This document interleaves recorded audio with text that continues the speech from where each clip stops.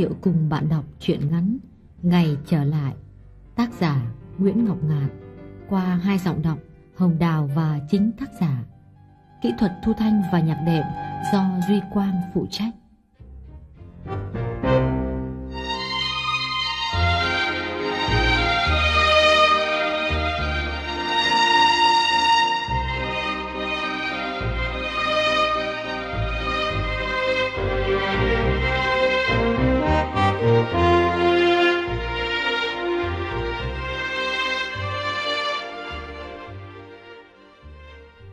Theo đúng lời dặn trong thư, Nhàn không cho ai biết chuyến về thăm của em gái.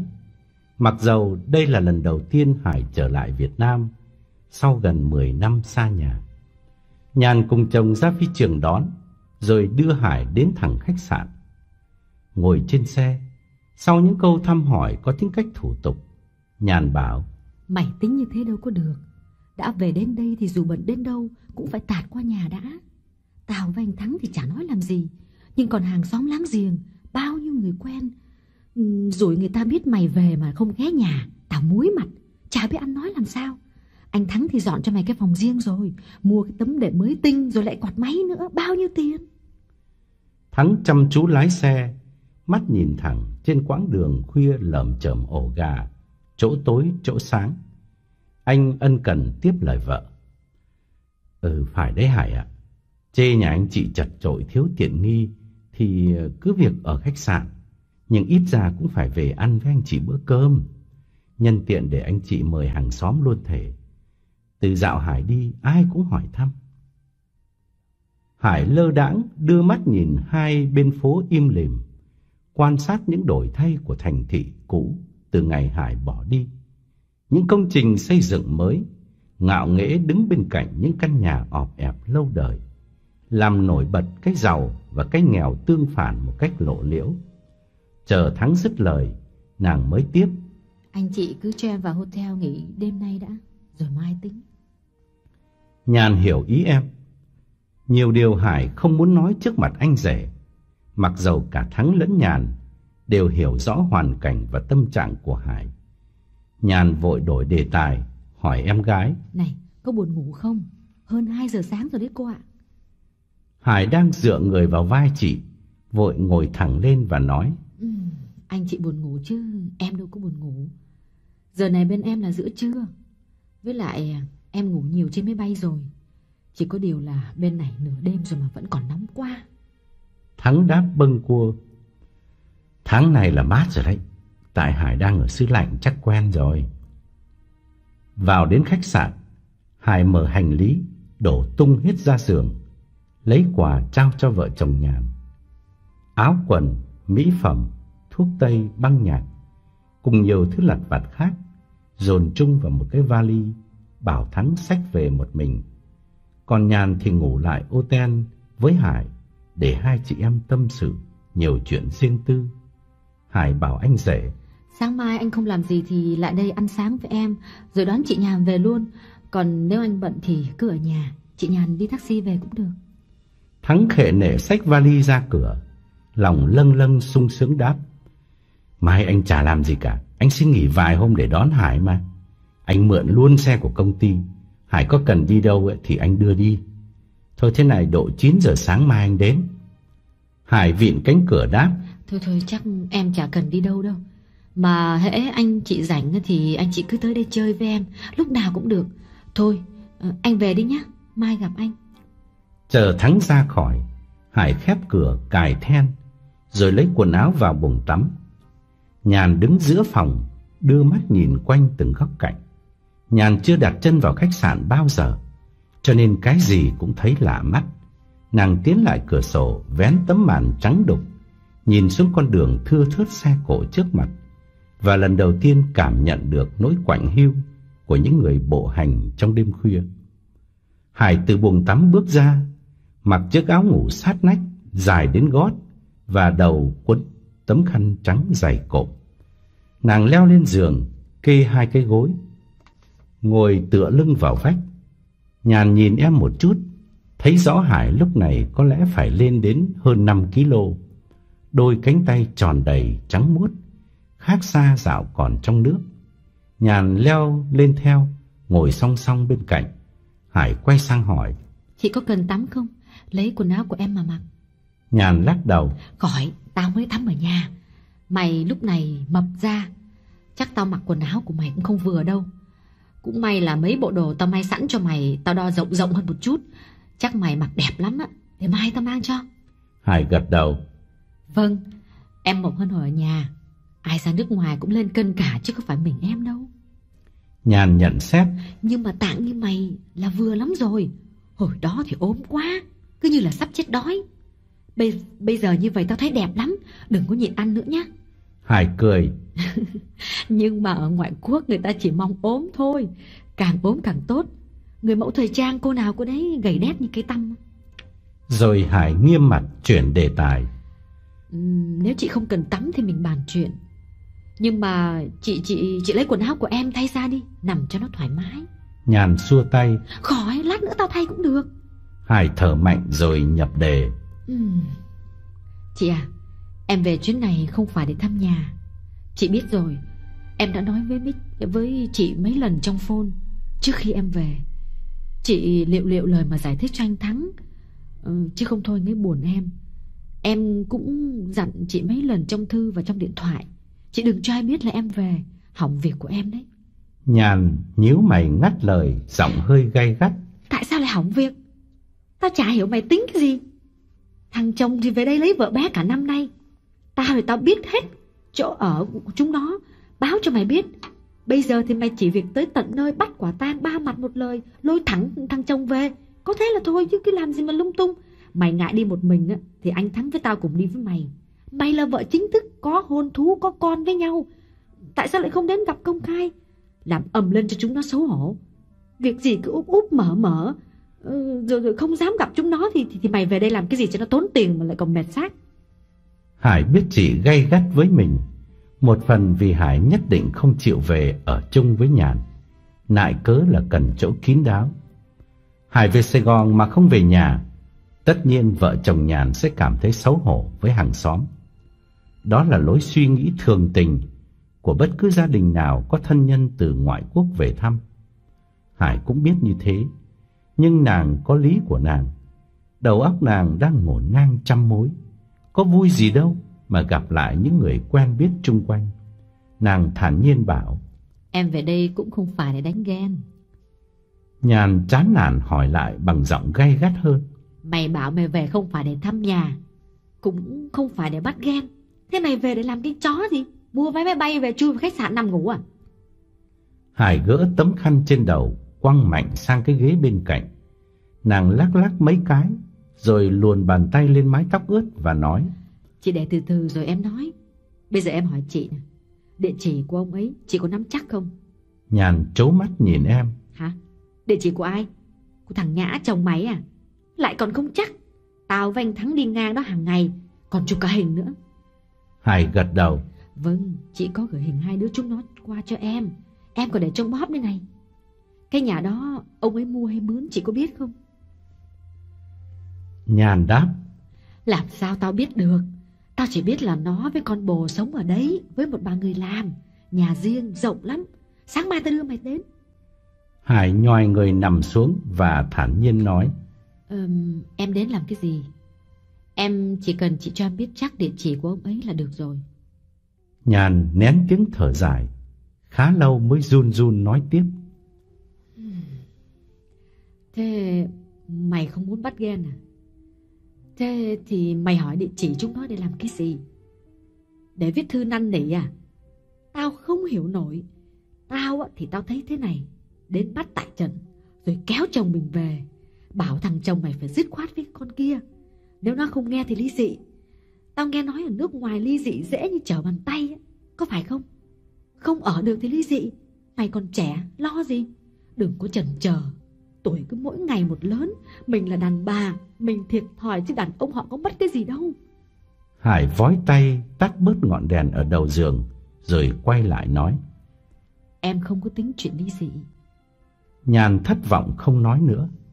Chị em xa nhau gần 10 năm, tính tình và cách suy nghĩ không còn giống nhau chút nào nữa. Nhàn không hiểu nổi em gái mình muốn gì trong nghịch cảnh cay đắng này. Giá cứ như ngày trước, thì Nhàn đã đùng đùng nổi giận và quát ầm lên rồi. Nhưng bây giờ thì Nhàn không dám quát, bởi chị em lâu quá mới gặp lại. Và nhất là bởi dù sao, Nhàn cũng nể em, đã sống cả 10 năm ở nước ngoài. Trình độ văn hóa chắc chắn phải hơn Nhàn gấp bội. Nằm im một lúc, nhịn không nổi, Nhàn lại hỏi. Này, Hải, Hải, thế bây giờ mày định thế nào? Không đánh ghen cũng không ly dị. Mày bảo tao là mày phải đóng cửa tiệm rồi mướn người giữ con cho mày về đây. Mày về để mày nhìn thằng chồng mày ngang nhiên sống với con vợ bé hay sao? Vậy mà lúc gọi điện thoại cho tao thì nói dữ lắm. Hảo bỗng lật người nằm úp xuống, rồi nghiêng hẳn sang phía Nhàn và hạ giọng nói. Em nói thật với chị. ừm, Em định mướn người giết ông ấy luôn chứ ly dị làm cái quái gì. Em về chuyến này để mướn người thanh toán ông ấy một lần cho xong. Nhàn ngồi bật dậy, thẳng thốt nhìn Hải rồi ấp úng hỏi lại. Hả? Mày, mày tính thuê người giết chồng mày à? Cái con này, mày điên rồi à? Hải gật đầu và giải thích bằng giọng chậm rãi của một người có chuẩn bị sẵn. Chồng con gì cái thằng khốn nạn đó. Hạng người như ông ấy, giết là phải. Để làm gì cho chật đất. Nhưng chị nhớ kỹ là chỉ có một mình chị biết ý định này của em thôi. Chị hờ ra là chết đấy. Cả anh Thắng, chị cũng không được kể cho anh ấy nghe. Em nói là nói vậy thôi. Việt Kiều chết, công an đâu có điều tra. Việt Kiều là thứ con hoang mà. Cho nên giết Việt Kiều, nhà nước đâu có mất công điều tra. Huống chi ông ấy lại tứ cố vô thân, mồ côi cha mẹ từ nhỏ. Chết là xong chứ ai thư kiện làm gì mà sợ. Nhàn á khẩu không nói được gì nữa. Nàng hình dung ra từ nét mặt, dáng người cho đến cách đi đứng của Nhã, mà nàng còn nhớ nguyên vẹn lần cuối gặp lại khi Nhã ghé thăm, khoe với Nhàn là Nhã về làm ăn tại Sài Gòn. Lúc ấy Nhàn vui lắm, nàng yên chí Nhã về trước để gây dựng cơ sở, rồi Hải sẽ về sau. Chị em lại gần gũi bên nhau như thù Hải chưa vượt biên. Hơn 10 năm trước, lúc Nhã và Hải mới quen nhau, thường đến chơi nhà Nhàn và Nhã vẫn hay bế đứa con đầu lòng của vợ chồng Nhàn, du cho nó ngủ trên chiếc võng ngoài ban công. Bản tính Nhã vốn yêu con nít, lại nhìn đời bằng cặp mắt lạc quan, cho nên chưa cưới nhau mà lúc nào cũng bảo Hải. Để đông con vui cửa vui nhà. Hải thì lắc đầu cười, Thời buổi này, càng đông con, càng ăn độn nhiều ông ạ. Nhìn Nhã và Hải quấn quýt bên nhau ngày ấy. Nhàn cứ tưởng rằng hai đứa sẽ phải chọn đời hạnh phúc. Có ngờ đâu, giờ này trở thành kẻ tử thù, một mất một còn. Ngừng một chút, Hải tiếp. Hôm nọ em phone về, em có hỏi chị là có quen thằng du đãng nào không? Chị có nhớ không? Lúc đó chị không hiểu tại sao em lại hỏi câu đó. Bây giờ thì chắc chị đã biết. Bởi vì bây giờ là lúc em cần đến du đãng. Du đãng giết mướn, chứ không phải loại ăn cắp vặt. Hải ngừng nói, mắt vẫn mở trừng trừng nhìn lên trần. Bên cạnh nàng, nhàn nằm im, toàn thân bỗng thấy lạnh toát. Nàng không ngờ đứa em gái mình ngày xưa ở quê nhà hiền lành đến độ ai bắt nạt cũng được. Thế mà sang Canada có 10 năm, Bây giờ thay đổi hẳn con người, dám tính đến chuyện giết người một cách bình thản như vậy. Nhàn ú ớ bảo em. Ờ, thì không ở được thì ly dị, lấy người khác. Việc việc gì mà phải giết nó? Hải xoay người nằm nghiêng hướng về phía chị và tiếp tục phân trần. Không ở được thì ly dị. Thế thì còn nói làm quái gì? Nó thì nó đang muốn lấy người khác. Mình ly dị là trúng kế nó. Chị không biết gì cả. Để em nói cho chị nghe. Gần 10 năm nay, từ ngày sang Canada, một tay em gây dựng. Em đi làm, em mở tiệm, em mua nhà, mua xe, tất cả là do em hết. Nhàn ngắt lời. Ơ thì sao bảo là nó cũng đi làm mà. Dạo đó thì chính mày viết thư cho tao, bảo là nó, nó làm trong hãng xe hơi. Hải giơ tay phân trần. Thì cũng có đi làm, nhưng mà lương ba cọc ba đồng, không đủ tiêu vặt, ăn thua gì. Không đủ mua tã cho con nữa. Nói không phải khoe với chị, nhưng mà chủ yếu là do em hết. Cách đây ba năm, mẹ ông ấy đau nặng, chị còn nhớ không? Em em cho ông ấy về thăm nhà một mình đấy. Lúc ấy tiệm em mới mở, đang đông khách không có bỏ đi được. Cho nên em mới để ông ấy về một mình. Ai ngờ đâu, mẹ ốm nặng, nằm hấp hối trên giường. Thế mà ông ấy cũng mắt trước mắt sau, tán được cái con đĩ này. Trở lại Canada, cứ nặng nặng đòi về Việt Nam đầu tư. Em cảm thế nào cũng không được. Em biết ngay là hỏng rồi. Nhưng mà chị coi, giữ người ở chứ ai giữ được người đi. Ông ấy lén ra ngân hàng cầm nhà lấy mấy chục ngàn, rồi rút hết tiền trong saving account. Tức là chương mục tiết kiệm của em đó.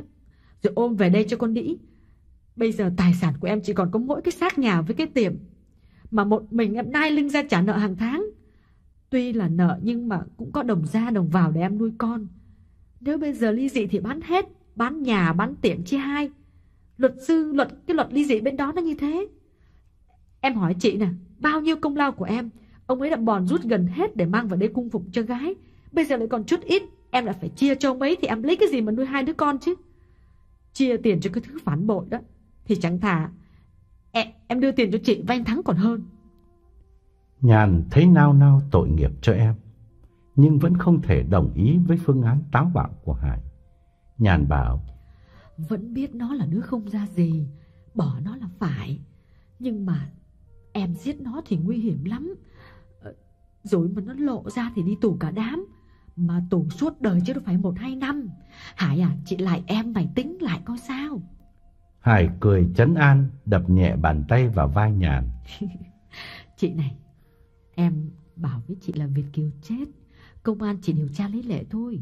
Bao nhiêu vụ rồi. Kể cả khách khách ngoại quốc chứ đừng có nói gì đến Việt Kiều.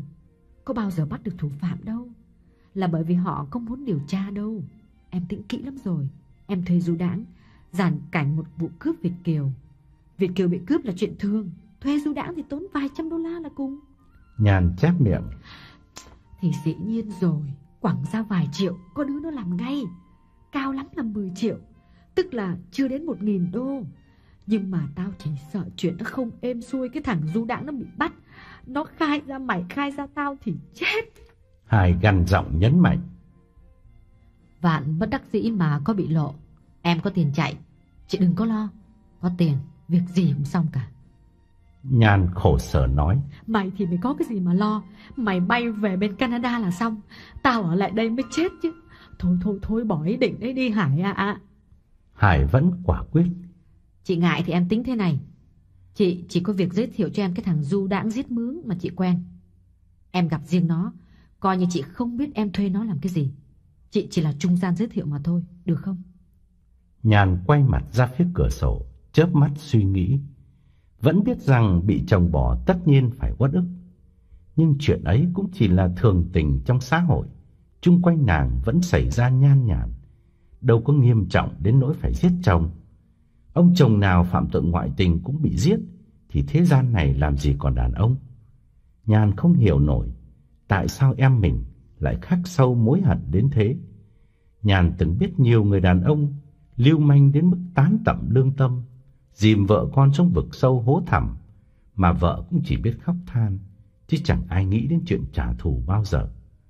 Nàng toan lên tiếng thì Hải dục Chị hẹn nó ở một cái nơi nào cũng được Rồi em đến gặp riêng nó Không cần phải có chị Em chỉ nhờ chị có thế thôi. Chị quen nó thì chị nói với nó hộ dùm em một tiếng. Nhàn dè dặt đáp. Quen thì ta cũng không có thân lắm. Chỉ biết nó sơ sơ thôi. Thằng Tố đó mà. Anh Thắng thì thân với nó. Nhưng mà chả biết nó có cái kinh nghiệm gì giết người lần nào chưa. Hồi đó anh Thắng anh vượt biên bị bắt.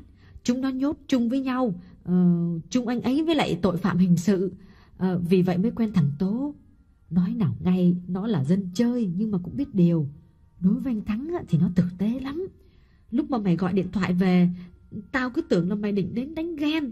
Cần đem du đãng dọa hai đứa chúng nó thôi nên tao mới định nhờ thằng Tố thôi chứ còn ừ, đem nó dọa được rồi vì mặt nó dữ lắm. Ngừng một chút, nhàn tiếp. À, hay là hay là thôi em ạ, chị bàn thế này nhá. Thì thôi mày giận thằng Nhã thì cũng phải, nhưng mà cần gì phải giết. Chỉ có cách này này. Mày mày bực mình cái thì mày mướn người tạt axit, như thế là quá lắm rồi. Tao nói thật đấy, tạt axit mới là cái cách trả thù suốt đời. Giết làm gì, nguy hiểm lắm. Mướn người tạt axit vừa rẻ mà lại đỡ nguy hiểm.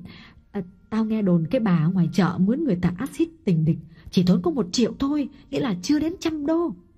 Hải cười khẩy. chồng mình đi dê người ta, lỗi chồng mình. Tại sao không tạt axit chồng mình mà lại tạt axit tình địch làm sao? Vớ vẩn. Nhàn ngẫm nghĩ một chút rồi đề nghị. Hay là tao thấy mày muốn trả thù chồng mày thì cái cách hay nhất là mướn người ta axit nó. Cho, cho, cho nó đuôi luôn, mù luôn đi. Rồi sau đó mày ly dị. Thế là cả đời nó đi ăn mày. Đó, cái cách đó tao thấy hay nhất đấy. Hải cười. Vậy là chị còn ác hơn em nữa. Chờ người ta tàn phế rồi mình ly dị thì kỳ quá. Mà không nhẽ mình nuôi thằng mù cả đời à? Theo em thì thả giết nó chết luôn cho rảnh nợ cả đôi bên. Nhàn thở dài quay về mối lo cũ. Ôi giời ơi nhưng mà có biết là em xui không mà rảnh nợ. Chỉ sợ là không xong mày với tao ngồi tù mãn đời thì sao? Dứt lời, Nhàn tuột xuống giường, lấy bộ pyjama của Hải đi vào buồng tắm. Nàng đánh răng rửa mặt rồi nhìn mình đăm đăm trong gương. Đầu óc vẫn còn choáng váng vì ý định ghê gớm của em gái. Nhàn trở ra leo lên giường nằm bên cạnh và bảo Thôi hơn 3 giờ sáng rồi Hải à, à Ngủ một giấc đi, mai tính Tao buồn ngủ lắm rồi. Hải ngồi dậy và nói Không, tóc em ướt quá Để em xế sơ một chút đã. Nhàn kéo tấm chân đắp ngang ngực và bảo Ừ, sấy đi Để tóc ướt nằm ngủ nó nhức đầu lắm.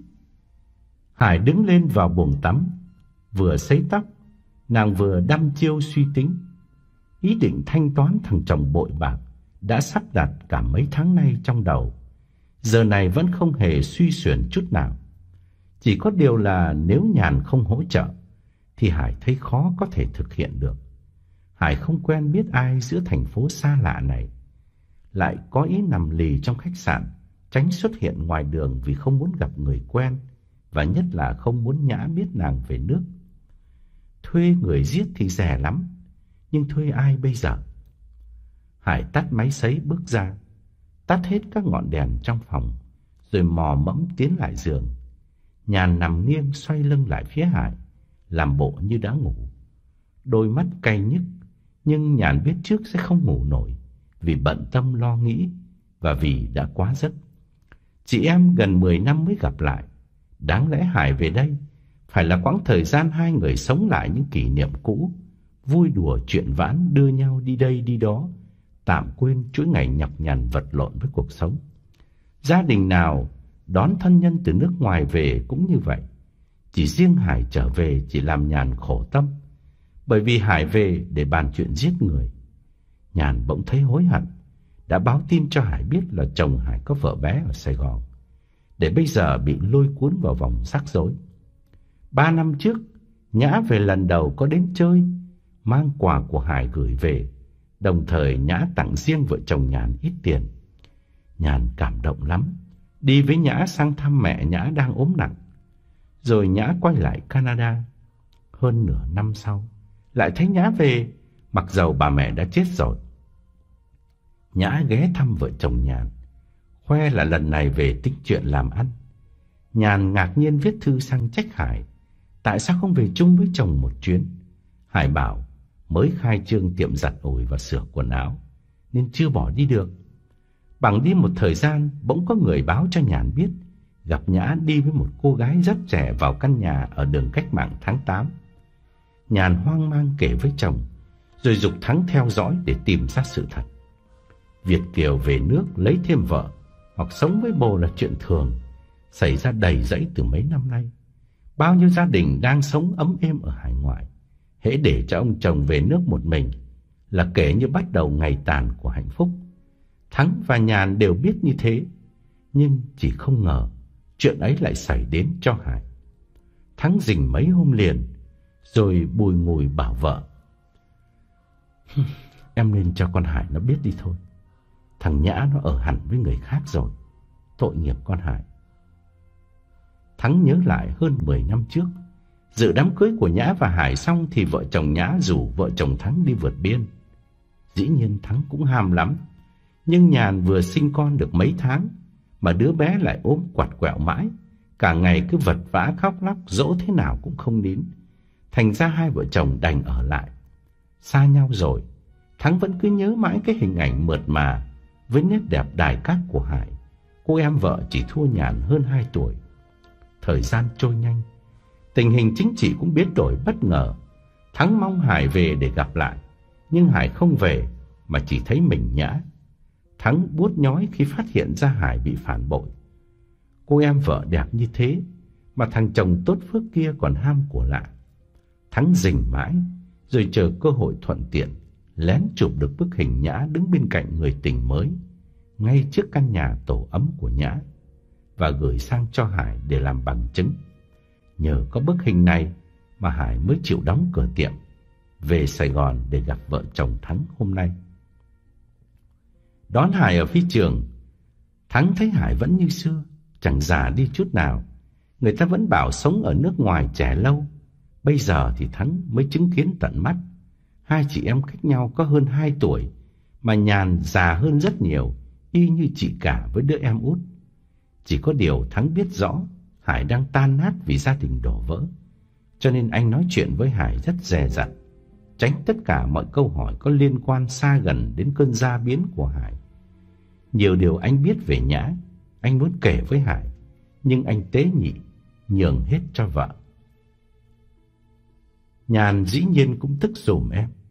Nhưng Nhàn chỉ nghĩ một cách đơn giản là đưa em đến bắt tại trận. Nhã sẽ phải xấu hổ mà quay về với Hải. Nhàn sẽ xúi Hải từ nay cấm không cho Nhã về Việt Nam một mình nữa. Biện pháp ấy tuy tiêu cực, nhưng chắc chắn ngăn chặn được những ông chồng mang nặng máu dê như Nhã. Chẳng bao giờ Nhàn nghĩ đến việc giết Nhã, mà ngay cả cái ý nghĩ ly dị hoặc tàn axit thì Nhàn cũng chỉ vừa mới lóe ra trong đầu khi bàn bạc với Hải mà thôi. Nhàn thấy em mình đi quá xa, làm Nhàn lo sợ, đâm ra ân hận đã gọi Hải về.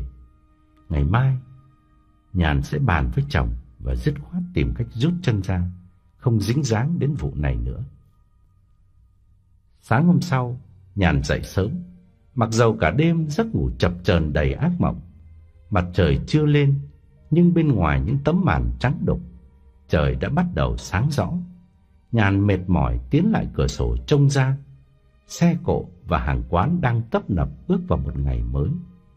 Nhàn quay lại, thấy Hải vẫn còn đang say giấc.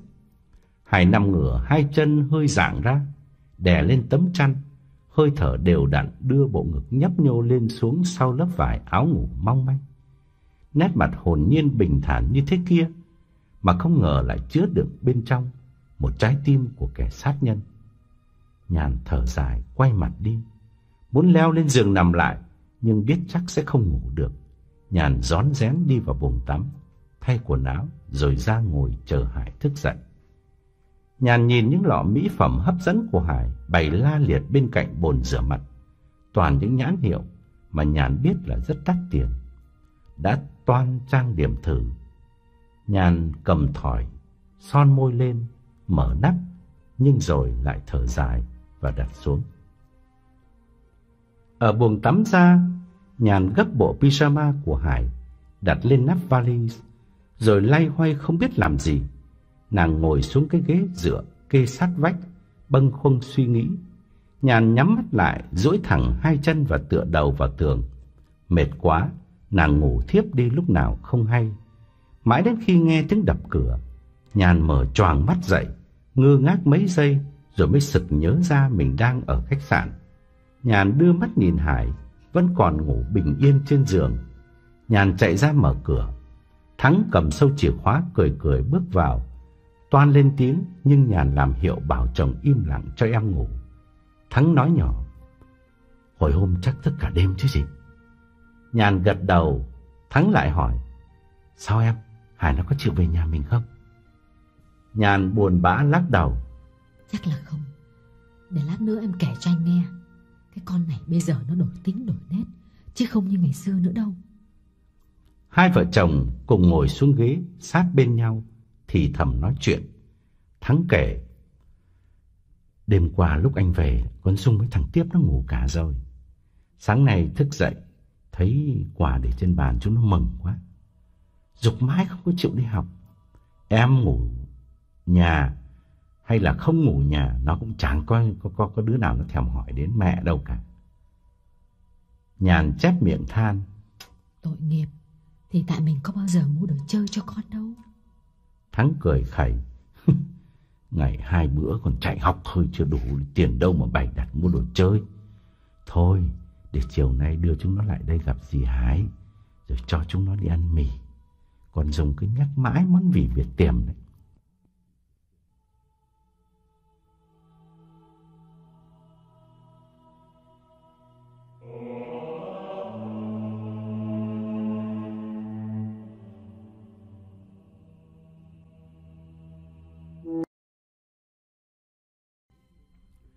Nghĩ đến món tiền Hải vừa cho, Nhàn chẳng những đồng ý cho các con đi ăn, mà còn tỏ ra rộng lượng hơn cả chồng. Ừ, đưa đi ăn rồi may cho mỗi đứa một bộ quần áo mới nữa. Thắng hứng hở nói, đồ may thì chưa chắc chúng nó đã thích. Thích mua hàng ngoại kia. Đua đòi bắt chước nhau đứa nào cũng chỉ thích bằng hàng ngoại. Mồm nói chuyện với vợ, nhưng mắt Thắng vẫn lấm lét nhìn Hải nằm ngửa trên giường trong cái tư thế rất mời gọi. Thắng tự hỏi không biết bên trong cái áo ngủ màu trắng đục kia Hải có mặc quần lót hay không. Nhàn chạy lại kéo tấm chăn đắp lên bụng Hải. Hải mở mắt rồi ngồi bật lên. Thấy Thắng, Hải vừa gượng cười vừa bước xuống đi vào buồng tắm. Ờ, anh đến sớm thế, mấy giờ rồi? Thắng đáp, bên này ai cũng quen dậy sớm cả, nhất là anh. Bình thường thì giờ này anh đã đi giao được một chuyến hàng rồi. Bữa nay anh cho các cháu đi học rồi chạy ngay lại đây xem Hải có cần gì không. Hải nói trước khi khép cửa buồng tắm. Ừ, anh chị chờ em một chút nhé, rồi mình xuống nhà ăn sáng. Nghe tiếng nước xối ào ào trong buồng tắm, Nhàn đang ngồi ở mép giường, đứng dậy lại sát bên cạnh chồng. Đôi mắt nàng đỏ hoe, nhướng lên nhìn Thắng và thì thầm. Cả đêm em chả ngủ được, nói chuyện với nó bực mình lắm đã toan kể cho Thắng biết ý định giết chồng của Hải, nhưng lại chợt nhớ đến lời Hải dặn, nhàn đành lảng sang đề tài khác. Em định rủ nó xuống chợ Sài Gòn ăn sáng, mà chắc nó chả đi đâu. Thắng chép miệng. Tội nghiệp, về đây mà cứ nằm lì trong khách sạn thì về làm gì cơ chứ, phí tiền. Nhàn bực bội bảo. Em thì nó hết hơi với nó rồi, tính đó bây giờ bướng lắm, chứ không như cái ngày trước. Biết thế thì thả anh đừng có xin nghỉ, đừng có mượn xe công ty. Thắng chấn an vợ. Để lát nữa anh anh rủ lần nữa xem nó có nghe không. Rồi hai người không nói nữa. Nhàn ngồi xuống ghế mệt mỏi nhắm mắt lại. Thắng đứng ở cửa sổ trông ra con phố tấp nập trước mặt. Một lúc sau Hải từ buồng tắm bước ra, quần jean áo thun, trang điểm rất sơ sài. Thắng quay lại nói ngay. Xuống chợ Sài Gòn ăn sáng với anh chị nhé. Trong khách sạn cũng có nhà hàng nhưng mà thức ăn nó dở lắm. Đã về tới Sài Gòn thì phải ăn cái gì cũng phải ra cái nấy. Anh chị sẽ đưa Hải đi ăn toàn là đồ đặc sản thôi. Hải nhìn nhàn rồi lại nhìn Thắng gượng cười đáp. À, đáng lẽ em em tính nằm nhà nhưng mà anh đã mất công xin nghỉ thì em đi với anh chị cũng được nhưng mà đừng có ra chợ Sài Gòn à, tìm cái chỗ nào vắng vắng một tí Thú thật với anh chị là em em không có muốn gặp người quen.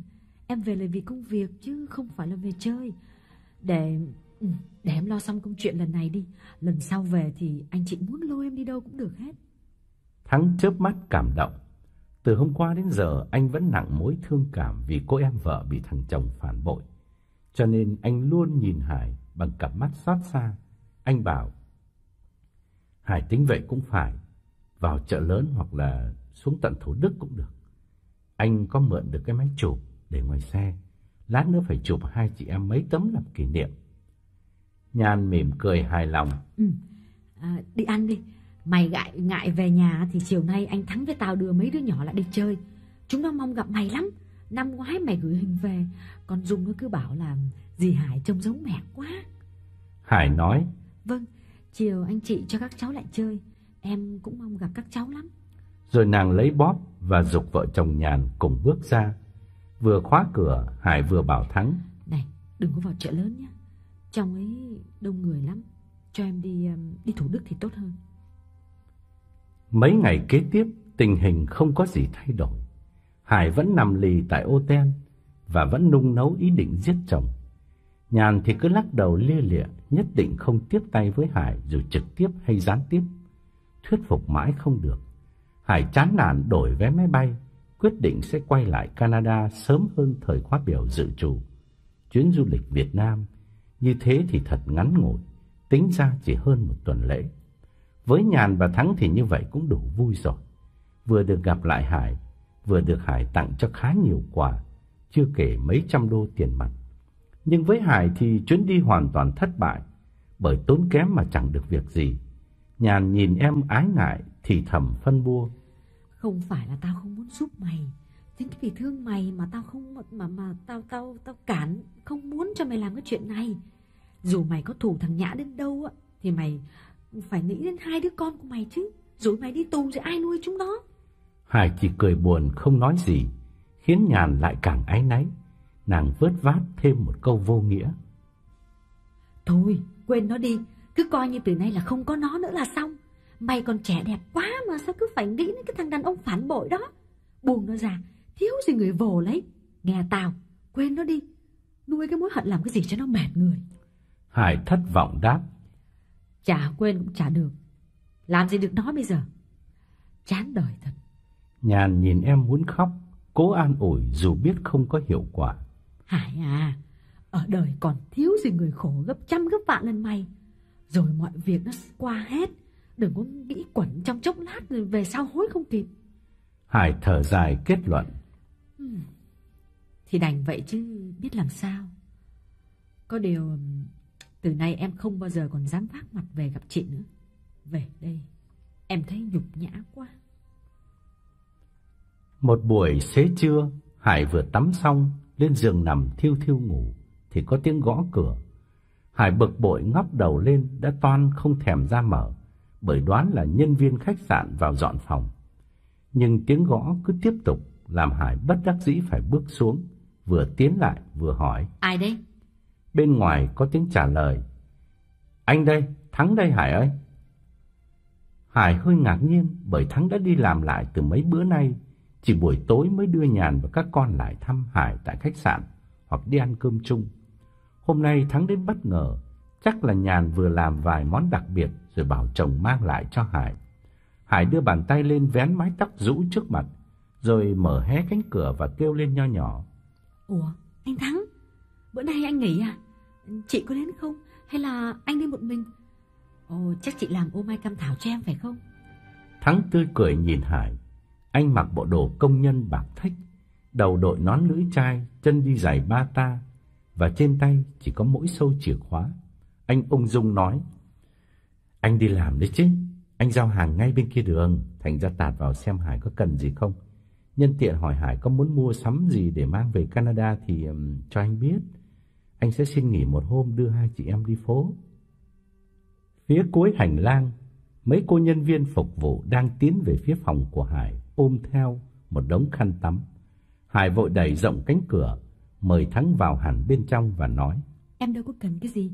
Ba hôm nữa là em đi rồi. Định đi ngày hôm qua nhưng mà không có chuyến bay. Thắng ngồi xuống mép giường, buồn rầu bảo. Hải về ít ngày quá, nhưng mà anh chỉ cũng thông cảm hoàn cảnh của Hải. Có gì vui đâu mà ở lại phải không? Anh không ngờ thằng Nhã nó mất dạy như vậy. Kỳ này quay lại Canada Hải tính sao? Để yên như vậy à? Từ giọng nói đến ánh mắt của Thắng đều toát ra cái vẻ ngậm ngùi thương hại. Hải kéo ghế lại gần giường, ngồi xuống và hỏi. Ừ, anh uống gì không anh Thắng? Để em gọi room service mang mấy lon nước lên nhé. Anh uống coca hay là cà phê? Thắng móc thuốc ra hút rồi xua tay. Khỏi, khỏi, anh anh đi bây giờ đây. Với lại à, anh anh vừa mới uống nước mía bên kia đường. Rồi Thắng nhắc lại. Mau quá, mới hôm nào ra phi trường đón Hải, thế mà đã một tuần rồi đấy. Ba hôm nữa Hải về lại Canada thật à? Hải thở dài thườn thượt. Ừ, chứ em ở lại làm cái gì nữa? Thắng đặt chùm chìa khóa xuống giường rồi ngập ngừng nói. Nhưng anh hỏi cái này hơi tò mò. Hải về đây cả tuần lễ, mà nhất định không đến gặp thằng Nhã. Thế thì Hải về để làm gì? Hải hỏi địa chỉ của nó để làm gì? Giờ cứ để như thế này, mặc cho nó tự do sống với con vợ bé hay sao? Nếu thế thì số thằng Nhã hên thật. Dứt lời, Thắng nhìn Hải cười khẩy, vừa hàm ý ngạc nhiên, vừa hàm ý chê trách. Hải khẽ đứng dậy, kéo nhích cái ghế lại gần Thắng hơn. Hai bàn tay đan vào nhau đặt trên đùi, nhìn Thắng tha thiết hỏi. Chị Nhàn có nói cho anh biết là em về chuyến này mục đích để làm gì không anh Thắng? Thắng mở to mắt lắc đầu đáp. Cần gì chị Nhàn nói? Anh biết Hải về vì nghe tin thằng Nhã có vợ bé bên này. Chuyện đó thì anh xác nhận là đúng. Chính anh theo dõi nó mà. Chỉ có điều anh lấy làm lạ là tại sao đã biết chắc nó có vợ bé. Mà Hải không có phản ứng gì cả. Hải gật đầu nhấn mạnh. Có chứ anh. Nhưng chỉ tiếc làm điều mà em muốn làm á, thì chị Nhàn không giúp em được. Nói đúng ra là không những chị không giúp mà còn cản em nữa. Thắng nhăn mặt hung lên. Tại sao lại có cái chuyện lạ thế? Hải muốn gì mà anh chị không giúp? Đâu đâu, Hải cần gì, nói cho anh biết. Chị Nhàn không giúp thì anh giúp. Anh có nghe chị Nhàn nói gì đâu. Câu nói cương quyết của Thắng làm lóe lên trong đầu Hải một niềm hy vọng mà cả tuần nay nàng không hề nghĩ đến. Nàng mở to mắt nhìn ông anh rể dáng to cao và nước da đen sạm. Cái nghề tài xế giao hàng cho công ty thực phẩm, suốt ngày đi trong nắng gió, làm khuôn mặt và đôi tay Thắng trở nên gân guốc như người phu khuân vác ở bến cảng. Con người cục mịch ấy, cả tuần nay Hải đã từng nhiều lần bắt gặp ánh mắt đờ đẫn nhìn lén Hải một cách thèm khát. Hôm nay, Thắng lại lén vợ đến thăm Hải một mình. Rõ ràng là Thắng rất nặng tình với Hải. Như vậy thì tại sao Hải không thử ngỏ lời riêng với Thắng xem sao? Đàn ông bao giờ chả dễ xúc động vì tiếng nỉ non và nhất là vì nước mắt của đàn bà. Huống chi, người đàn ông ấy lại là ông anh rể xuất thân trong giới lao động, vốn nhìn Hải bằng ánh mắt thán phục. Chỉ còn ba ngày nữa, Hải ra đi rồi, không nói với Thắng hôm nay, thì về đến Canada Hải sẽ rất hối hận. Nghĩ thế, nàng đứng dậy, kéo cái ghế xích lại gần Thắng một lần nữa, rồi hạ giọng run run kể. Chị Nhàn chưa nói gì với anh thật sao? Thôi thì để để em kể với anh vậy. Nhưng mà anh đừng cho chị Nhàn biết là em gặp riêng anh nhé. Thắng gật đầu chờ đợi. Anh nhòi người dụi điếu thuốc vào cái gạt tàn đặt trên chiếc bàn nhỏ cạnh đầu giường. Rồi ngồi thẳng lên, ưu tư nhìn Hải. Mặt Hải buồn hẳn đi, giọng đầy nước mắt. Em khổ lắm. Không cần nói chắc là anh cũng hiểu. Gần 10 năm nay ở bên Canada, em lo gây dựng gia đình, đi làm, mở tiệm, nuôi con. Nhiều hôm lội tuyết tưởng chết rét ngoài đường. Nhất là mùa đông. Có khi lạnh quá xe không đề máy nổi. Nhưng mà em cứ tự bảo mình là phải cố gắng. Ông ấy thì ông không nghĩ như em. Ông ấy lười lắm. Làm ở đâu thì cũng cũng dáng cho đủ thời gian lãnh thất nghiệp là kiếm cách xin nghỉ. Mà phải ông ấy là người ốm yếu thì không nói làm gì. Khỏe như voi mà lười mới kỳ cục chứ. Bảo đi học cũng không muốn học, bảo đi làm thì lười biếng. Bao nhiêu gánh nặng gia đình đổ lên đầu em. Ở nước ngoài người ta bỏ chồng là thường. Nhưng mà em vẫn chịu đựng vì em nghĩ đến tương lai hai đứa con em. Em mới dành dụm mãi, mới được ít vốn. Không ngờ ông ấy lấy hết tiền của em mang về đây nuôi gái, bỏ mặc mẹ con em bên đó. Em van xin ông ấy, dù không thương em thì phải nghĩ đến hai đứa con, nhưng mà ông ấy lờ đi, còn kiếm cớ đánh em nữa. Hải ngừng lại, ngước đôi mắt xót xa nhìn Thắng. Thắng thấy lòng mình sôi lên, càng tội nghiệp Hải, càng căm giận Nhã. Mà căm giận là phải, bởi chính mắt Thắng đã chứng kiến nhiều lần Nhã khoác tay người tình mới đi tung tăng ngoài phố. Hải lại tiếp. Chị Nhàn thì cô bàn với em là nên đi dị. Lúc đầu thì em cũng tính như vậy. Nhưng mà em hỏi luật sư thì thấy rõ là nếu mình ly dị là mình dại. Bởi vì tài sản còn bao nhiêu thì phải bán hết để chia đôi. Em lấy gì mà nuôi con? Ly dị là chung kế ông ấy. Ông ấy thì đang muốn em ly dị để lấy người khác. Mình buông cho ông ấy đi, lại còn phải bán nhà bán tiệm để đưa tiền cho ông ấy nữa. Anh thấy có bất công không? Bao nhiêu công lao của em 10 năm nay bây giờ em sắp trắng tay rồi. Hải lại tạm ngưng, đầu hơi cúi xuống, dòng lệ ứa ra khóe mắt. Thắng thấy tim mình thắt lại. Có được một người vợ như Hải vừa đẹp vừa ngoan, mà tại sao thằng Nhã khốn nạn kia còn thả mồi bắt bóng? Thắng chưa kịp nói gì, thì Hải ngẩng lên nhìn Thắng khẩn khoản. Mối hận này em không thể nào quên được. Ông ấy sỉ nhục em, không có một chút tình nào hết đối với các con. Có lần, có lần ông ấy còn tát em ngay trước tiệm phở, trước mặt bao nhiêu người. Em về đây là nhờ anh chị giúp em. Nhưng tiếc là chị Nhàn không bằng lòng. Mà em thì em cứ ngại, không dám cho anh biết ý định của em. Thắng sốt ruột ngắt lời. Ý định của Hải thế nào? Hải cứ nói đi. Chị Nhàn không muốn giúp Hải thì đã có anh đây. Hải đừng lo, Hải cứ nói đi. Hải khẽ khom người rồi đột ngột đưa bàn tay nắm lấy bàn tay Thắng.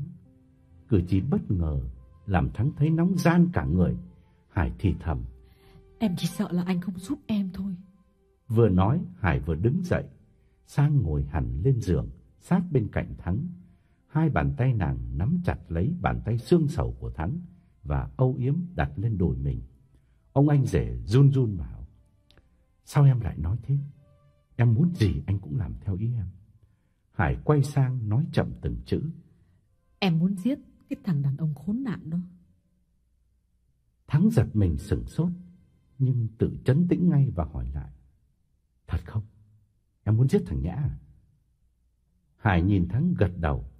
Thắng ngó ra cửa sổ, đầu óc vẫn còn bàng hoàng về câu nói táo bạo của Hải. Thắng ú ớ hỏi lại. Đâu có cần phải giết em. Em muốn thì anh kêu du đám tới đánh cho nó một trận để cảnh cáo. Như vậy là được rồi. Hải khẩn khoản giải thích. Anh Thắng à, nghe em nói đây nè. Chị Nhàn thì bảo là em mướn người ta axit. Nhưng mà em thấy chả ăn thua gì cả. Thứ nhất là ông ấy mà tàn phế thì khổ em hơn. Khổ trai đứa con của em nữa. Cả đời là cứ phải làm nuôi ông ấy à. Mà em hỏi anh nhá, một thằng đàn ông như thế thì có đáng cho nó sống không? Em thì em hận lắm. Không giết được nó thì em không thể nào hả giận được. Năm ngoái, anh chị báo cho em biết là ông ấy có vợ bé bên này. Em hỏi ông ấy là xem có đúng hay không. Ông ấy kiếm cớ đấm em sưng cả mặt, tím cả hai con mắt. Ông ấy là bảo là đừng có nghe những cái đứa lắm mồm nó đồn nhảm. Hôm ấy mà, mà không có hai đứa con của em gào khóc gọi hàng xóm sang can nữa thì ông ấy xô em té từ trên lầu xuống chết rồi còn đâu nữa. Nói dứt câu, nước mắt Hải giàn rụa tuôn tràn xuống má. Nàng xoay đầu úp mặt thổn thức trên vai Thắng. Thắng thấy lòng mình trùng hẳn xuống. Anh nắm chặt bàn tay đấm mạnh xuống nệm giường và kêu lên. Không ngờ thằng đó mất dạy đến thế. Hải càng nức nở khi có Thắng bên cạnh an ủi. Nước mắt nàng làm ướt đẫm một mảng áo trên vai Thắng. Thắng đặt nhẹ một bàn tay lên lưng Hải, rồi từ từ ghi sát người nàng vào thân thể mình. Qua lớp vải mỏng nội hóa của bộ đồ mà nhàn mới may cho Hải mặc trong nhà. Thắng thấy hơi ấm chuyển lan thật nhanh từ ngực Hải, làm anh bừng bừng dạo dực. Anh không thể ngờ anh lại có được giây phút bất ngờ kỳ thú này. Cô em vợ từ nước ngoài mà anh vốn đánh giá rất cao, dù anh có thèm khát đến đâu cũng chỉ dám đứng xa mà nhìn. Bây giờ bỗng chốc nằm trong cánh tay anh, không mua vé số mà vẫn trúng độc đắc. Cuộc đời sao lại có những lúc thắng lợi đột xuất như thế này? Anh khẽ đẩy Hải nằm xuống, rồi anh chúi đầu úp mặt vào ngực Hải. Nhưng Hải nhẹ nhàng đẩy ra và yếu ớt chống đỡ. Đừng, đừng anh. Nằm, nằm đây với em là đủ rồi. Em cô đơn đã mấy năm nay. Có chồng mà cũng như là ở qua. Đừng, anh Thắng. Thắng ngoan ngoãn làm theo, đạp rớt đôi giày vải xuống sàn, rồi nằm ngửa lên để Hải nghiêng người, áp má vào ngực mình. Anh thấy đúng như Hải nói. Như thế này đã là thần tiên quá rồi, vượt hẳn mọi mơ ước của cả đời Thắng. Anh đưa bàn tay lên lùa vào mái tóc dày của Hải, toàn thân đê mê vì chứa chan hạnh phúc. Anh không muốn nghĩ gì nữa cả, mắt nhắm lại để tận hưởng cái giây phút thiêng liêng tuyệt đối này. Nhưng Hải chỉ im lặng một phút, rồi lại quay về đề tài cũ. Sao? Anh, anh giúp em được không? Anh cần bao nhiêu tiền thuê du đãng? Em lo hết. Miễn là phải cẩn thận, miễn là phải được việc. Việc Kiều chết thì chả qua điều tra đâu. Coi như du khách bị cướp thôi. Nhưng mà mình phải kín đáo. Anh Thắng, anh anh giúp em trả mối hận này anh nhé. Giờ thằng này thì mỗi lời nói của Hải đều là một mệnh lệnh. Thắng không cưỡng được nữa, dù trong lòng không tránh khỏi ưu tư. Huống chi Thắng lại đang rất cần tiền để thanh toán món nợ mấy cây vàng, mỗi tháng lãi 10 phân. Nợ chung của hai vợ chồng và nợ riêng của một mình Thắng. Nợ chung vì vay vàng để mở tiệm pizza cho vợ coi, nợ riêng vì cá độ pizza thua liên tiếp. Anh cũng có xoay sở buôn bán thêm, dùng xe công ty chở hàng mướn, nhưng kiếm được đồng nào chỉ đủ nộp trả tiền lãi, còn nợ gốc thì vẫn y nguyên mấy năm nay. Bây giờ gặp Hải, cơ hội này chắc hẳn là một áp phe lớn nhất trong đời Thắng, bởi vì anh được cả tình lẫn tiền. Thắng nói, thằng đó ngu quá, nó dám phản bội em thì nó phải chết. Anh sẽ rửa hận cho em. Thắng rút bàn tay ra khỏi mái tóc Hải, bấu lấy vai nàng, rồi trong khoảnh khắc kéo dần xuống, đặt trên ngực nàng. Hải không phản đối. Bàn tay đen đủi của Thắng xoa nhẹ trên hai vú rồi nổi cồm cộm dưới lớp vải mỏng. Hải thì thầm. Anh giúp em thì phải hết sức kín đáo nhé. Trong nỗi ngây ngất đam mê, Thắng bảo, muốn kín đáo thì chính anh phải ra tay. Hải lặng người vì sung sướng. Mấy giây sau mới rẻ rặt nhắc thêm. Một mình anh thì làm sao nổi. Vẫn biết là anh cao lớn hơn ông ấy, nhưng mà muốn chắc ăn thì... Thắng ngắt lời, muốn chắc ăn thì anh gọi thêm thằng Tố. Thằng này là đệ tử ruột của anh, trước ở tù chung với anh. Hồi trong tù nó đau gần chết, anh cứu mạng nó mà. Thành ra bây giờ nó mắc nợ anh, anh bảo gì nó cũng phải nghe. Hải ngóc đầu lên hôn vào má vào cổ Thắng, chạm vào lớp dâu lởm chởm cứng như bàn chải sắt. Mùi mồ hôi, mùi thuốc lá làm Hải khó chịu, nhưng nghĩ đến cái đích sắp đạt được, Hải tạm quên tất cả để làm vui lòng Thắng. Nàng nghiêm trang bảo, Chuyện này chỉ có mình em với anh biết thôi anh nhé. Anh đừng kể cho chị Nhàn biết. Chị Nhàn mà biết thì hỏng việc đấy. Thắng gật đầu. Dĩ nhiên rồi, đời nào anh nói cho bà ấy biết. Hải sung sướng muốn liệm người, nàng từ từ ngồi lên, tựa lưng vào vách và nhấc đầu Thắng đặt trên đùi mình. Nàng cúi xuống nhìn khuôn mặt xương sầu của ông anh rể và nói rõ những chi tiết mà nàng đã sắp đặt trong đầu. Em tính thế này, ba hôm nữa em về lại Canada. Từ nay đến đó, anh khoan, đừng có ra tay vội. Chờ em về bên kia, rồi anh hãy thanh toán ông ấy. Giết xong, anh đừng có đánh điện tín hoặc là gọi điện thoại cho em ngay nhé. Cứ làm như là anh không biết gì cả. Chờ khi nào mà báo chí đăng tin, anh mới thông báo cho em biết. Cắt tờ báo gửi sang cho em. Lúc đó, dĩ nhiên, em sẽ về để... để nhận xác chồng. Hải cúi gập người xuống, hôn lên đôi môi xám xịt đầy dư vị thuốc lào của Thắng và tiếp. Anh nhớ như thế, thanh toán bằng cách nào em không cần biết. Em chỉ biết đưa tiền cho anh thôi. Anh cần mua súng cũng được nữa, em sẽ đưa tiền cho anh. Tốn phí một chút nhưng mà chắc ăn. Nhưng mà anh nhớ là càng làm đơn giản thì lại càng đỡ bị lộ nhé. Thắng cũng đang tính toán kế hoạch của mình nên đáp ngay. Anh có cái xe giao hàng của công ty rất tiện. Súng ống làm gì? Em nói đúng, phải thanh toán nhanh và gọn. Càng đơn giản càng kín đáo. Anh với thằng Tố chỉ việc phạm cho nó một thanh sắt vào đầu. Rồi quăng lên xe, mang xác ra xa lộ, kiếm khúc nào vắng đẩy xuống. Dễ ở chứ có gì đâu. Hải thở phào nhẹ nhõm, coi như mọi việc đã xong, coi như thằng chồng phản bội đã chết. Hai bàn tay nàng ôm lấy mặt Thắng và cẩn thận dặn thêm. Giết xong, anh phải lục túi lấy hết tiền bạc, đồng hồ. Nói chung là ông ấy có cái gì, anh lấy hết, chỉ trừ giấy tờ. Rồi anh quăng cái bóp của ông ấy bên cạnh, làm như là một vụ cướp. Nhé. Thắng thấy Hải còn chu đáo hơn cả mình. Anh cảm phục đáp. Anh cũng định như vậy. Hải khoan khoái lùa bàn tay vào mái tóc dính bết bụi đất của Thắng và miên man vẽ ra viễn ảnh tương lai. Ừ, nếu xong việc rồi, có lẽ em sẽ thu xếp về sống hẳn bên này, hoặc đi đi về về. Bên Canada em cô đơn lắm, mà có sống ở nước ngoài lâu thì mới thấy nhớ nhà, mới thấy cần người thân.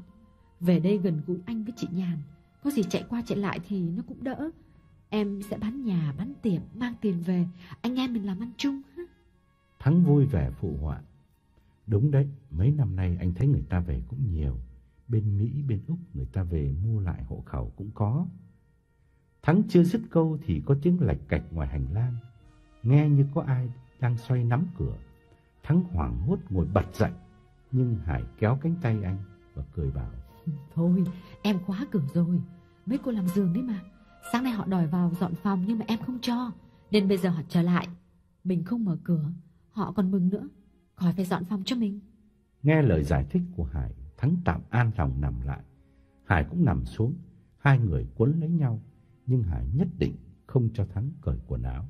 Cái phần thưởng ấy nàng định sau khi Thắng giết nhã rồi thì nàng mới hân hoan trao tặng Thắng. Nằm thêm một lúc, Thắng nhìn đồng hồ rồi ngồi lên, thòng chân, xỏ giày và nói. Chắc anh phải đi đây. Hải cũng ngồi lên sau lưng Thắng, hai bàn tay ôm lấy vai anh và hỏi. Anh đi giao hàng tiếp hay là về nhà? Thắng vừa cột ba ta vừa đáp. Anh giao chuyến cuối cùng rồi. Giao xong anh mới ghé vào đây thăm em mà.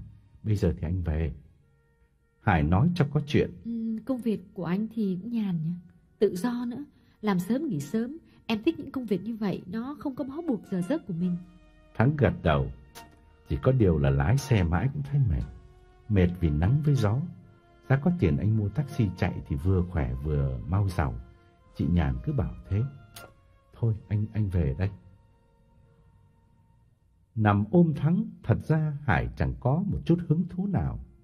Vì ông anh rể của nàng cả ngày lái xe và khuân vác hàng hóa dưới ánh nắng. Áo quần thấm đầy mồ hôi, bốc mùi chua lét. Nhưng Hải phải tỏ ra níu kéo để Thắng hiểu rằng Hải có cảm tình với Thắng, chứ không phải chỉ hoàn toàn là có ý đồ lợi dụng. Nàng nũng nịu bảo. Ừ, không phải đi làm nữa thì về làm gì sớm. Tưởng anh phải đi làm chứ còn không thì ở lại đây với em một chút nữa đã. Thắng đứng dậy thở mạnh và nói bằng giọng luyến tiếc. Anh muốn ở lại luôn đây với em chứ đâu có muốn về. Nhưng mà Nhàn dặn anh bữa nay về sớm để đưa Nhàn với tụi nhỏ lại đây. Đón em đi ăn cơm. Bây giờ anh về, lát nữa gặp lại vậy. Hải tụt xuống giường đến trước mặt Thắng, vòng hai tay ôm lấy lưng Thắng siết chặt và nói. Lát nữa gặp cả nhà, em không có nói chuyện này được đâu. Ngày mai anh thu xếp đến đây với em được không? Giờ nào tiện cho anh? Anh anh tính kỹ đi, anh cần bao nhiêu tiền thì cho em biết, ngày mai em đưa luôn. Thắng khẽ gỡ tay Hải ra để rút cuốn sổ nhỏ trong túi áo. Anh vừa lật nhanh mấy trang vừa nói.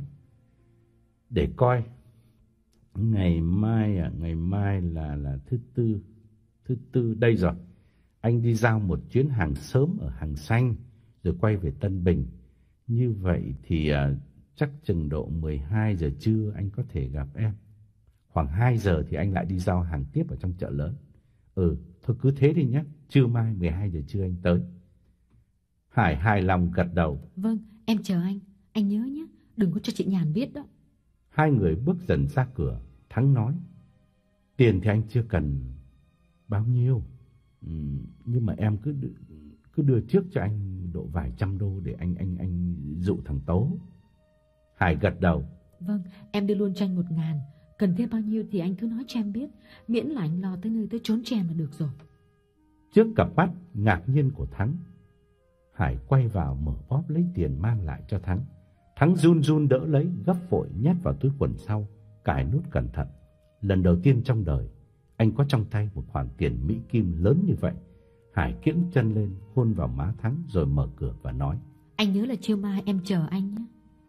Thắng gật đầu bước ra hành lang lấm lét nhìn hai bên rồi đi nhanh ra bãi đậu xe bên hông khách sạn. Anh mở cửa xe, toan leo lên thì sực nhớ ra một chi tiết quan trọng. Anh lại trở vào gõ cửa phòng Hải. Anh vào hẳn bên trong, khép cửa lại rồi nói. Trưa mai có thể anh không lại đây được, vì anh phải đi tìm thằng Tố đã. Gặp nó xong, anh mới tới em được. Thằng ấy thì không có gì đáng ngại, anh bảo gì nó cũng nghe. Nhất là có anh làm chung với nó. Nhưng anh cần gặp nó xem tiền bạc nó muốn thế nào. Nó lúc này đang nợ như chúa trộm. Chúng cái áp phe này chắc là mừng lắm. Với lại nó nhiều kinh nghiệm giang hồ hơn anh. Không có nó không được. Ngày mai em cứ chờ anh ở đây. Đừng đi đâu cả. Anh gặp nó xong thì rảnh lúc nào anh sẽ đến em ngay. Hải nắm tay Thắng và nói. Có anh thì em chả lo gì nữa. Nhưng mà em nhắc anh là đừng có để cho cái ông bạn của anh uống rượu rồi say sưa nói tầm bậy tầm bạ, nguy hiểm lắm. Thắng cười chấn an. em yên trí đi, anh còn lo hơn cả em nữa. Hải mỉm cười nhìn Thắng âu yếm, nàng ôm ghì lấy Thắng, hôn lên má một lần nữa trước khi mở cửa. Thắng tha thiết bảo, em đổi với máy bay lần nữa được không? Ở lại với anh thêm vài hôm. Nhưng Hải nghiêm trang đáp, Em đã nói rồi, anh lo công việc này cho em xong, em sẽ thu xếp về ở luôn bên cạnh anh. Thắng gật đầu bước ra hành lang, bắt đầu một sứ mạng nặng nề nhất trong cuộc đời mình. Hôm sau, đúng như phỏng đoán của Hải, mới khoảng quá trưa, Thắng đã có mặt tại khách sạn. Mặc dầu đi làm nhưng bữa nay Thắng ăn mặc sạch sẽ hơn nhiều. Áo sơ mi trắng cháo lòng bỏ ngoài quần, râu ria cạo nhẵn thín và tóc trải gọn ghẽ, không cần đội nón lưỡi chai như thường lệ. Hải đã chờ sẵn cho nên trang điểm kỹ lưỡng và chỉ mặc có mỗi cái áo thun mỏng rộng thùng thình, dài chấm mông, chế hẳn xuống một bên vai. Nàng mở cửa đón Thắng và hỏi ngay. Anh anh có gặp được cái ông bạn của anh chưa? Thắng ngồi xuống mép giường, quăng sâu chìa khóa bên cạnh. Hải kéo ghế ngồi đối diện, cặp giò gác lên nhau, nhưng vẫn cho Thắng nhìn thấy cả chiếc quần lót mới tinh bên trong cái áo thun. Thắng ngây ngất giang cánh tay, gọi. Lại đây với anh. Hải bước tới, khẽ đẩy Thắng nằm ngửa ra giường và nàng quỳ bên cạnh. Thắng bảo, anh gặp thằng Tố rồi. Hải nằm đè lên người Thắng và hồi hộp hỏi. Thế ông ấy có bằng lòng giúp anh không? Thắng vừa ôm ghì lấy Hải vừa hãnh diện đáp. Anh bảo thì nó phải nghe chứ. Có điều là nó đòi 15 triệu cho riêng phần của nó, tức là 1.500 đô. Con số này dĩ nhiên Thắng nói tăng lên rất nhiều. Dù đang tận hưởng nỗi đam mê bên cạnh thân sắc ngọc ngà của cô em vợ, Thắng vẫn đủ tỉnh táo để kiếm lời thêm cho mình. Hải nói, Thôi thế này nhé, em cứ giao khoán cho anh 3.000 đô. Anh với ông ấy muốn làm thế nào cũng được. Hôm qua thì em đưa trước cho anh 1.000 rồi đấy. Khi nào báo với đài nó loan tin chồng em chết, em đưa nốt 2.000 kia. Thắng sướng đến tê người và chợt hối hận vì đã nêu con số hơi nhỏ. Giá cứ đòi đến 5 ngàn, Hải cũng sẽ bằng lòng. Nhưng thôi, chuyện tiền bạc tạm gác lại. Thắng đặt bàn tay lên mông Hải, rồi từ từ luồn hẳn vào bên trong quần lót. Hải hai ba lần kéo tay Thắng ra, nhưng rồi cuối cùng nàng lật người nằm ngửa và nhắm mắt lại, buông xuôi, chiều ý Thắng. Ba hôm sau, Hải lên đường về Canada. Tiến chân em ra phi trường, Nhàn áy náy muốn rơi nước mắt vì đoán là Hải vẫn đang giận mình bởi Nhàn không hỗ trợ việc Hải giết chồng. Chỉ riêng Thắng thì nhìn Hải bằng ánh mắt chứa chan, thay cho bao nhiêu lời nói ân tình. Lợi dụng lúc Nhàn dẫn hai con vào đi tiểu, Hải và Thắng làm bộ xếp hành lý bên nhau để tâm sự.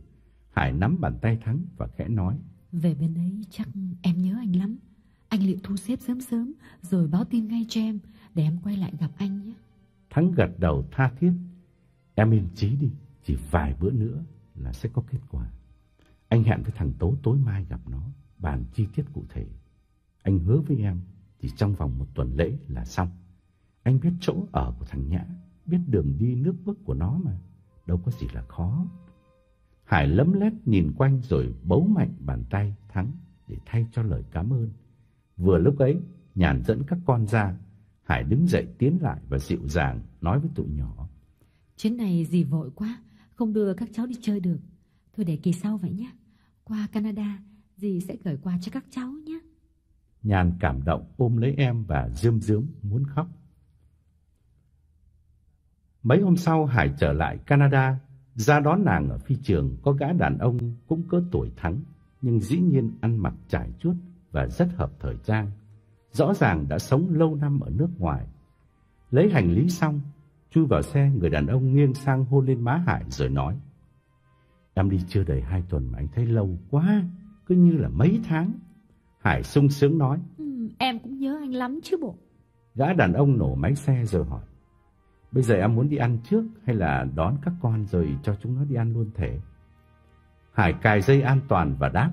Thôi mình đi ăn đi anh, kệ tụi nhỏ. Lát nữa thì về đón cũng được, em mệt quá. Gã đàn ông sung sướng sang số xe. Câu trả lời của Hải rất hợp ý gã, bởi có phải con gã đâu. Vì đang ở thời kỳ tán tỉnh nhau, cho nên gã phải làm bộ săn sóc hai đứa con riêng của Hải. Chứ trong thâm sâu gã có yêu thương gì chúng. Xe chuyển bánh, gã bình thản hỏi. Em nhắm có xong việc không? Hải gật đầu tự tin. Xong chứ anh? Em đoán chỉ độ khoảng ờ, một tuần nữa là có tin tức. Gã đàn ông nhếch mép cười. Hải vui vẻ kể. Hên quá, em tưởng về là về không rồi đấy chứ. Bà chị em nhất định là không chịu giúp. Giờ chót, còn có ba hôm nữa thì ông anh rể em lại nhúng tay vào.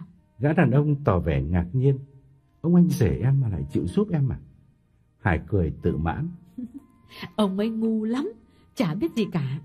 Ông ấy tội nghiệp em, vì cứ tưởng là chồng em mê gái, bỏ em, về Việt Nam lấy vợ bé. Đâu có biết là bên này chính em cho chồng em mọc sừng, nên chồng em buồn quá phải về Việt Nam lấy người khác. Xe ra khỏi Bắc Kinh, Hải tắt nụ cười, quay sang yêu tư hỏi. Anh à, thế anh có chắc là chết ở Việt Nam thì hãng bảo hiểm bên này nó vẫn đền không? Gã đàn ông tặc lưỡi rồi nhấn mạnh. Anh đã nói với em bao nhiêu lần rồi, chắc chắn họ đền. Em chỉ cần lấy cho được tờ giấy khai tử của bác sĩ hoặc của phường, của quận, mang sang đây nộp vào hồ sơ là được. Trường hợp mà chết vì tai nạn như chồng em á, thì cần thêm giấy phúc trình của cảnh sát nữa. Hải an tâm tiếp lời. Dĩ nhiên là phải lấy giấy chứng nhận chết vì tai nạn chứ. Bảo hiểm của ông ấy chỉ có 250 ngàn thôi. Chết vì accident thì mới được bồi thường thêm 250 ngàn nữa. Tức là mình sẽ có nửa triệu để anh với em gây dựng cuộc sống mới.